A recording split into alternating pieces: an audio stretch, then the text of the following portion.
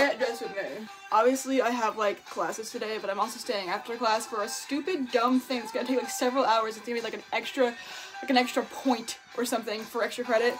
I, I really don't want to do it, but I'm doing it anyways. I'm gonna wear these jeans. I want to wear this Aeropostale like t-shirt. I got this to be pajamas, but I actually think it's like cute as like a regular shirt. I like this here. This is a men's shirt, but like it doesn't actually matter at all. I haven't worn my hoops in like a few days, so that means that they're missing. I found them. They are in here with my cross necklace tangled up in them. You know what? I'm not even wearing this necklace today, so I'm just gonna I'm gonna deal with this later.